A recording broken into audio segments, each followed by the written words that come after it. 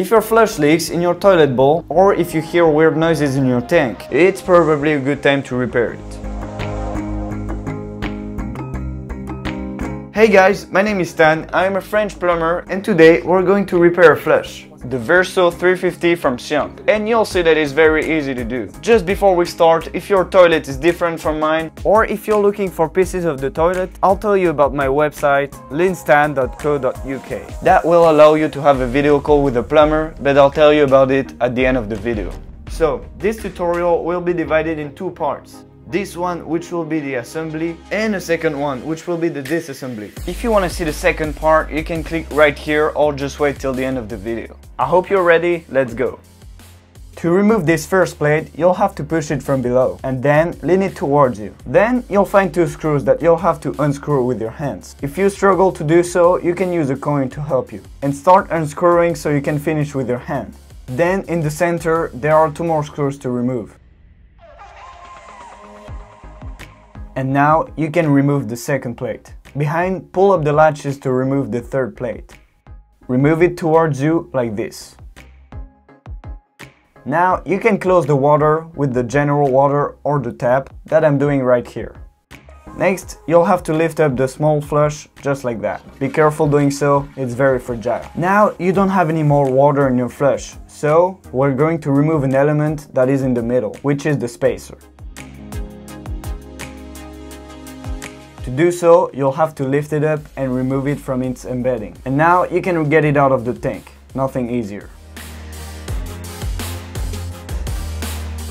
With the help of the two big fins, here and here, make a quarter turn to the mechanism counterclockwise.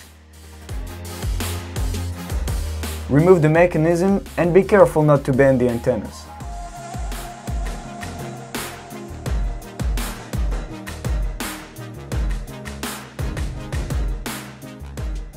There is one last piece to remove and it's the mechanism basket. Just pull on it to remove it.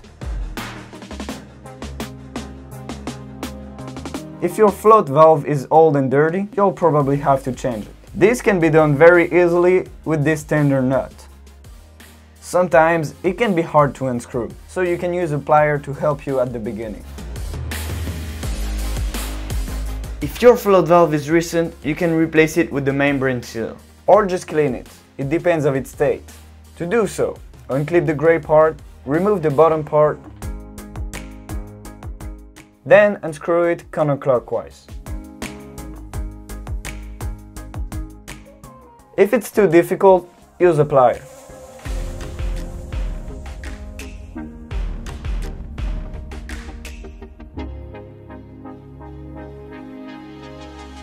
Remove the membrane and check if it's not cut or ripped. If it's damaged, you'll have to replace it. If you have to replace your float valve or the membrane, you can get it now on our e-commerce shop. When buying with us, you support our content creation of new tutorials, which will help you again one day, I'm sure. The purchase link for both of these will be in the description. If it's not the case, clean it with water. Just like the floating valve, if the mechanism is too old, it can malfunction. If it's your case, I'll put a link down below so you can get a new one. Otherwise, it's possible to replace the valve or to clean it. To do so, turn the mechanism upside down and remove the plastic valve. The purchase link for the mechanism and the valve will be in the description. And remove the valve. If the valve has too much limestone and is crackled, you should probably replace it. But if it's just very dirty like this one, clean it underwater. For the basket seal, if it's dirty, remove the joint like so.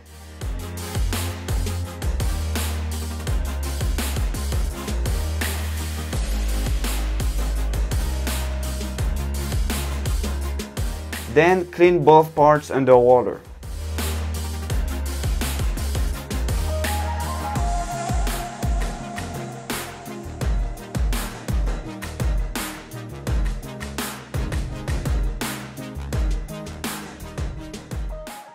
And voila! I really hope that my tutorial helped you. If it's not the case, you know that you can use my service linstan.co.uk which is a video call troubleshooting for any problems that you could have at home. The idea is very simple. You just book a video call with me so that you can have my expertise in live. And I will help you solve your problems by showing you what to do. And I'll also tell you what pieces you need to buy. So if you are interested, you know that you can book a plumber in less than 10 minutes on my website linstan.co.uk or you can just click on the little thing right here. You'll see it's very easy. Our service is also available for English speakers, so go check it out. If you like my tutorial or if you have some remarks to make, you can tell me everything in the comment section. For those who want to follow me on Instagram, it's right here. And if you want to see the second part of this video, you can click right here. See you next time.